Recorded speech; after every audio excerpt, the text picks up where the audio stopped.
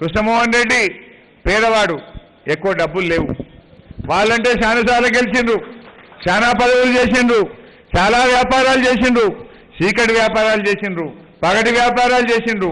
కృష్ణమోహన్ రెడ్డి గారు జెడ్పీటీసీగా కష్టపడి గెలిచిండు. ఓడినా ప్రజల్లోనే ఉన్నాడు జెడ్పీటీసీగా గెలిచినా ప్రజల్లోనే ఉన్నాడు. కార్యకర్తల కష్టాల్లో ఉన్నాడు గద్వాల అభివృద్ధిలో ముఖ్యమంత్రి గారి దగ్గరికి వచ్చి అభివృద్ధి కార్యక్రమాల్లో ఉన్నాడు. గెలిచినా ఓడినా ప్రజల మనిషిగా ఉండే ఇవాళ పేదల పెన్నిది కృష్ణమోహన్ రెడ్డి గారి కోసం కార్యకర్తలు కష్టపడి పనిచేయాలి. కృష్ణమోహన్ రెడ్డి దగ్గర పైసలు లేవు. మనం అవసరమైతే కార్యకర్తలే పది రూపాయలు జేబులోకి వెళ్ళి ఖర్చు పెట్టి గెలిపించుకోవాలి. పైసలకు భయపడద్దు. తర్వాత మీరు రుణం తీసుకుంటాడు అంతకంటే ఎక్కువ కష్టపడ్డాడు కృష్ణమోహన్. ఎందుకంటే వాళ్ళ దగ్గర అక్రమ సంపాదన చాలా ఉన్నది ఎన్నంటే అన్ని పెట్టరు. కానీ అలా గద్వాల ఆత్మ గౌరవం గెలవాలన్నా వీళ్ళ ఈ డబ్బు అహంకారం గెలవాలని దయచేసి ఆలోచించండి. ఇలా వాళ్ళకు ఒక అహంకారం ఉన్నది.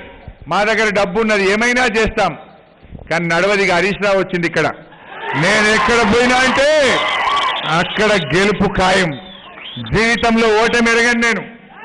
ఎక్కడ కేసీఆర్ పంపించినా గెలిపించుకోనే పోయినా కానీ ఓటమి అనేది నా జీవితంలో లేదు ఇప్పటిదాకా. ఇప్పటిదాకా ఓటమి లేదు. తప్పకుండా మా కృష్ణమోహన్ రెడ్డిని గెలిపించుకొని అసెంబ్లీకి తీసుకొని పోతా అని చెప్పి నేను సందర్భంగా కార్యకర్తలకు మనం చేస్తాం. మీరు కొద్దిగా కష్టపడినంతే. పంతొమ్మిది రోజులు మీరు కష్టపడండి. నేను కంటికి రెప్పలాగా ఈ గద్వాల కార్యకర్తల్ని కాపాడుకుంటామని మనం చేస్తా ఉన్నాం. ఎవరైనా మీ తెరువు వస్తే డబుల్ సమాధానం చెప్తాం.